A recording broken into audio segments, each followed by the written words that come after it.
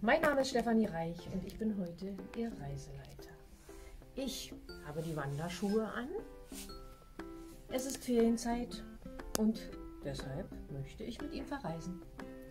Natürlich nur im Geiste leider. Aber bekanntlich beginnt Reisen ja im Kopf.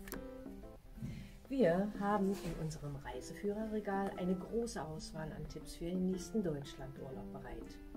Ob zu Fuß, per Rad oder im Auto, hier werden alle fündig. Von der See bis zu den Bergen führen touristische Ziele wie eine Perlenkette durchs ganze Land. Sind Sie eigentlich schon einmal thematisch verreist?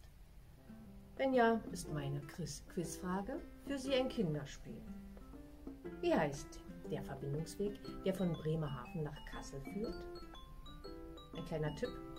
Viele der Bauwerke links und rechts an dieser Straße haben wir in der Weihnachtszeit bereits im Fernsehen sehen können. Viel Spaß beim Stöbern unter www.bibliothek-neuenhagen.de